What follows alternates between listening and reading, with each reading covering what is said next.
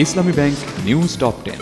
সুষ্ঠু অংশগ্রহণমূলক নির্বাচনের জন্য রাজনৈতিক দল ও প্রার্থীদের ভূমিকা রাখার আহ্বান জানিয়েছেন রাষ্ট্রপতি মোহাম্মদ শাহাবুদ্দিন। নির্বাচন হতেই হবে, তবে আওয়ামী লীগের কাটা কাটাছেড়া সংবিধানে নয়, বলেছেন বিএনপির মহাসচিব মির্জা ফখরুল ইসলাম আলমগীর। আওয়ামী লীগের সাধারণ সম্পাদক ওবায়দুল কাদের বলেছেন, সংকট উত্তরণের নির্বাচনই একমাত্র পথ। দেশের আকাশে পবিত্র জিলহজ মাসের চাঁদ দেখা গেছে। ঈদুল আজহা উনত্রিশ জুন।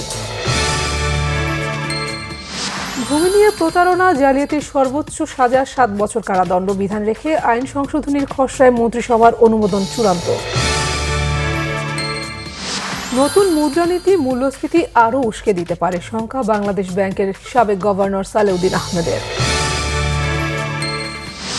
রাজশাহী ও সিলেটের সিটি নির্বাচনের প্রচার প্রচারণা শেষ, কিছুটা নিরুত্তাপ নির্বাচনী এলাকা। টানা বৃষ্টি আর উজানের ঢলে বাড়ছে সিলেট ও সুনামগঞ্জের নদ নদীর পানি, বাড়ছে তিস্তার পানিও। প্রেসিডেন্ট শিয়ের সাথে মার্কিন পররাষ্ট্রমন্ত্রী ব্লিংকেনের তাইওয়ান ইস্যু এবং রুশ ইউক্রেন যুদ্ধ নিয়ে হাই প্রোফাইল আলোচনা।